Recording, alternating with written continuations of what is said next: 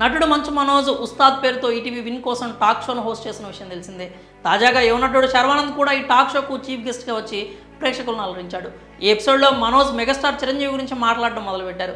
మనోజ్ మాట్లాడుతూ చిరంజీవి గారి గొప్పతనం గురించి గంటల తరబడి మాట్లాడుకుంటూనే ఉంటాం. ఇండస్ట్రీకి వచ్చినప్పటి నుంచి తనను నమ్ముకున్న వారందరికీ సపోర్ట్గా ఉంటున్నారు. తన ప్రజల కోసం ఆయన ఎల్లప్పుడూ అండగా ఉంటారంటూ మనోజ్ తెలిపారు.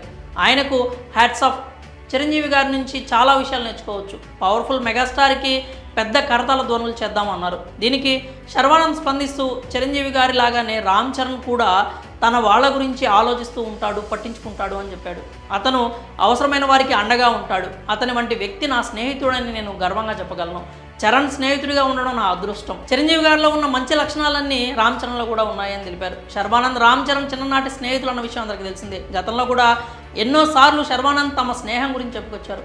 చిరంజీవి రామ్ చరణ్ల గురించి మనోజ్ శర్వానంద్ చెప్పిన ఈ మాటలు ప్రస్తుతం సోషల్ మీడియాలో వైరల్గా మారాయి. పైన చెప్పుకున్న విధంగా శర్వానంద్ చరణ్కు చిన్ననాటి స్నేహితుడు. ప్రస్తుతం మనోజ్ వాట్ ది ఫిష్ సినిమాతో రీఎంట్రీ ఇస్తున్నాడు. మరోవైపు శర్వానంద్ శ్రీరామాదిత్య దర్శకత్వంలో మనం అనే ఓ సినిమా చేస్తున్నారు. పీపుల్ మీడియా ఫ్యాక్టరీ పతాకంపై డీజీ విశ్వప్రసాద్ నిర్మిస్తున్న ఈ చిత్రంలో కృతి శెట్టి హీరోయిన్గా నటిస్తుండగా అబ్దుల్ వహాబ్ సంగీతం అందిస్తున్నారు. మరి మెగాస్టార్ చిరంజీవి రామ్ చరణ్ గురించి శర్వానంద్ మనోజ్